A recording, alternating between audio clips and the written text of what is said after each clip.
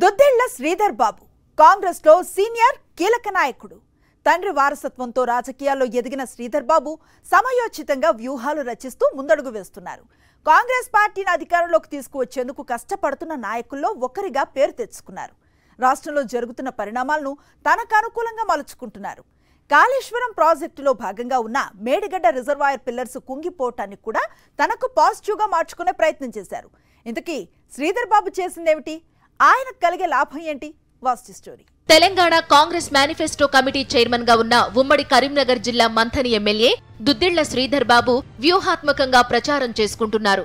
నిన్న మొన్నటి వరకు మంథనిలో కాంగ్రెస్ వర్సెస్ బీఆర్ఎస్ ఫైట్ అనే టాక్ ఉండేది. కానీ మెల్లిమెల్లిగా జంపు జిలానీలతో పాటు పెద్ద ఎత్తున కార్యకర్తలు కాంగ్రెస్ వైపు ఆకర్షితులవుతుండటంతో మంథని నియోజకవర్గం ఆపరేషన్ ఆకర్షలో ముందు వరుసలో నిలుస్తోంది. ఉదయం బీఆర్ఎస్ కండువా కప్పుకున్న వాళ్ళు సైతం ఇక్కడి పరిస్థితులు చూసి నాలిక్కరుచుకుని సాయంత్రానికి తిరిగి కాంగ్రెస్ గూటికి మళ్ళీ చేరుతుండడమే ఇక్కడ విశేషంగా చెప్పుకోవలసి ఉంటుంది. అందుకు ఉదాహరణగా ఎమ్మెల్యే శ్రీధర్ బాబు ఊరైన కాటారం మండలం ధన్వాడ సర్పంచ్ తొంబర్ల వెంకటరమణ అప్పటి వరకు కాంగ్రెస్లో ఉండగా ఉదయమే ఏం జరిగిందో ఏమో గాని బీఆర్ఎస్కు ఆకర్షితుడై కారెక్కేశారు. కానీ సాయంత్రానికి ఆయనేం రియలైజ్ అయ్యారో తెలియదు గాని మళ్ళీ తిరిగి సొంత గూటికి చేరారు. శ్రీధర్ బాబు వ్యూహాల కారణంగా ఇప్పుడు మంథని నియోజకవర్గమంతా ఏకపక్షంగా కనిపిస్తున్నదనే కామెంట్స్ వినిపిస్తున్నాయి. నిత్యం వందల సంఖ్యలో చేరికలు జరుగుతుండటంతో కాంగ్రెస్ ఏకఛత్రాధిపత్యం అన్నట్టుగా ఇక్కడ జోష్ కనిపిస్తోంది.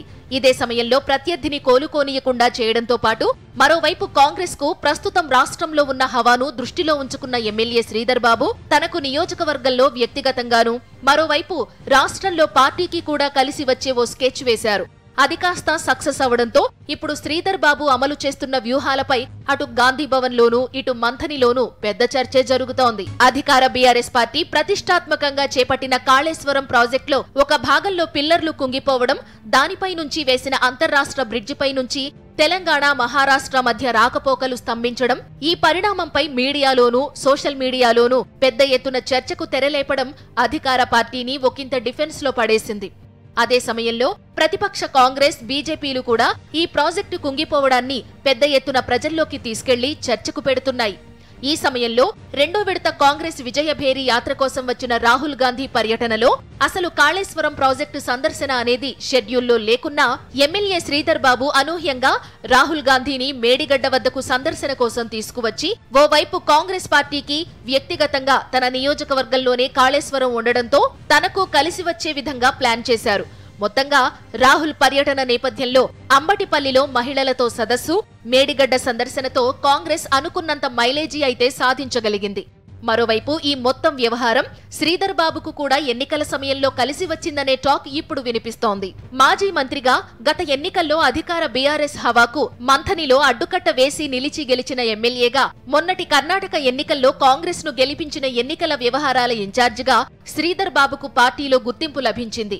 తండ్రి వారసత్వాన్ని అందుకోవడంతో పాటు ఆ స్థాయి వ్యూహాలను కూడా అమలు చేస్తున్న నేతగా ఇప్పుడు శ్రీధర్ బాబు కాంగ్రెస్ పార్టీలో అందరి నోళ్ళలోనూ నానుతున్నారు.